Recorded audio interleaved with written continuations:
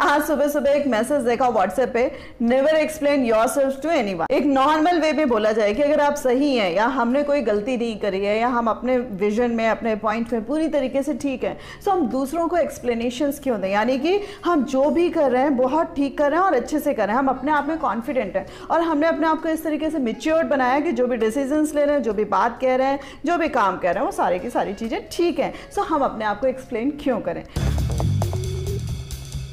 लेकिन माई dear friends बहुत सारी ऐसी जगह होती हैं जहाँ पर हमें अपने आप को एक्सप्लेन करना पड़ता है। And that explanation is required suppose आप पब्लिक प्लेस में जा रहे हैं, ठीक है? और आपको किसी का हाथ लग गया, ठीक है? जाने अनजाने ही लगा। और उसने एकदम से आपको कुछ भी अपशब्द बोलने शुरू कर दिए। आप अपना एक्सप्लेनेशन देंगे कि नहीं देंगे कि भाई मेरा ऐसा कोई मतलब नहीं था?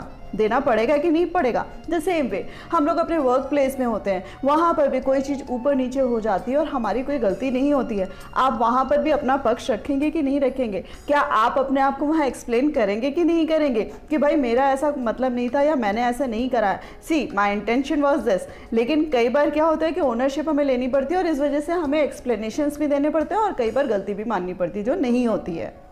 फ्रेंड्स दिक्कत क्या आती है? जो दूसरा पॉइंट है इसको बहुत ध्यान से समझिएगा।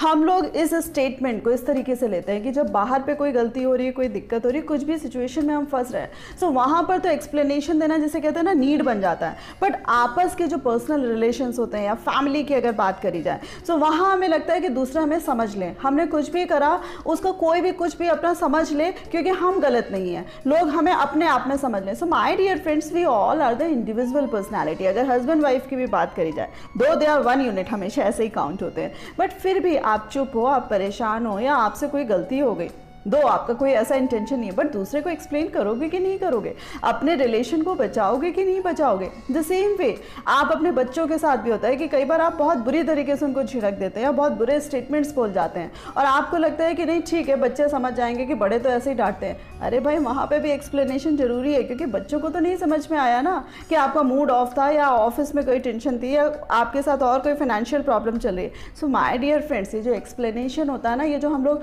छोटे छोटे मैसेजेस देख के उसका एक जिस्ट निकाल लेते हैं कि भाई हमें अपने आप को एक्सप्लेन करने की ज़रूरत नहीं। नो नॉट एट ऑल थोड़ा सा जिस्ट समझिए, अपना इंटेलिजेंस यूज़ करिए और उसको बखूबी यूज़ करिए कि येस एक्सप्लेनेशन इस अगर पॉइंट की अगर मैं बात करूँ कि येस एक्सप्लेनेशन हर एक को बार बार देने की ज़रूरत नहीं होती है, क्योंकि अगर बार बार दे रहे हैं तो हम छूटे साबित होते हैं। लेकिन हाँ जहाँ ज़रूरत पड़े, एक बार ही सही एक्सप्लेन दूसरों को करना बहुत ज़रूरी होता है।